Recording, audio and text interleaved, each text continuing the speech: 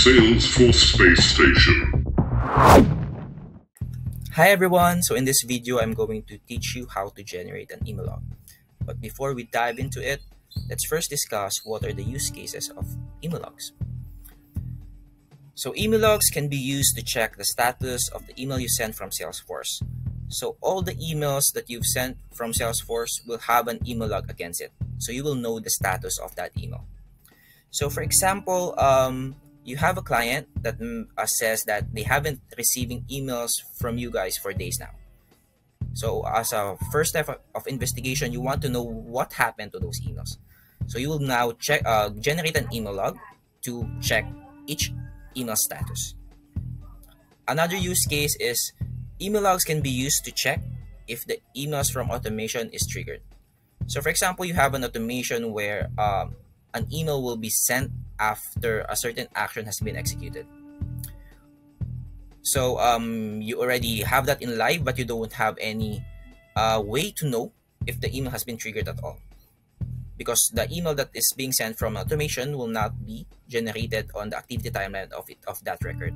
So that's when you can use email logs to check if the email automation has been triggered at all or if has been sent successfully. All right, so now we're going to send out some test emails and generate a log against it. So for this, I'm just going to call this test email.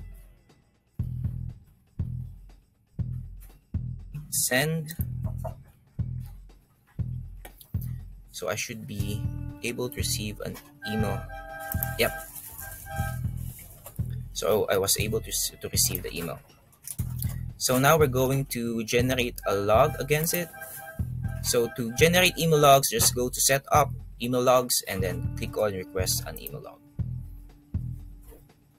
So from here, you will be prompted to select start time and end time. Since I just sent this today, I'm going to select the start time as today. And since I just sent it like a few minutes ago, I'm going to adjust this to 1147. So here you have uh, notification recipients. So you, you need to add an email address here if you want to be notified once the, the email log has been generated. But um, in this video, I'm not going to do that since we're just going to generate uh, one email log. So it, it should take like one to two minutes. And then here you can, this one uh, work as a filter. So for example, um, you, you, uh, you have a lot of emails in traffic for this specific uh, specific time but you only want to get the emails that is being sent for this specific email address then you just need to add that email address.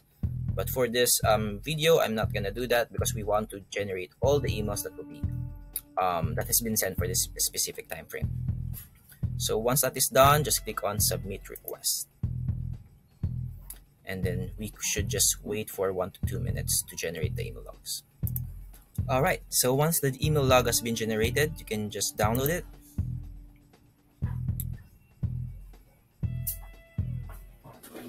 So once you open it, it will be a CSV file and you will have this um, specific columns.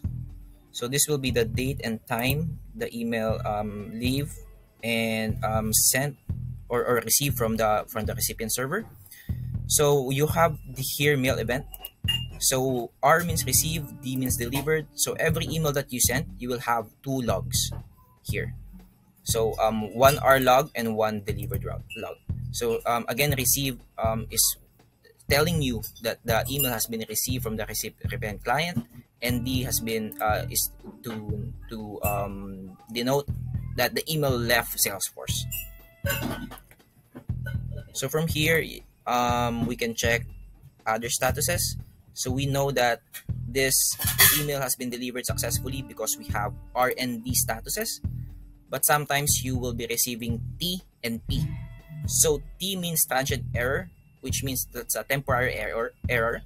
Um, so the system tries to send an email but got rejected by the server, but it will still try to send that email again for the next 24 hours.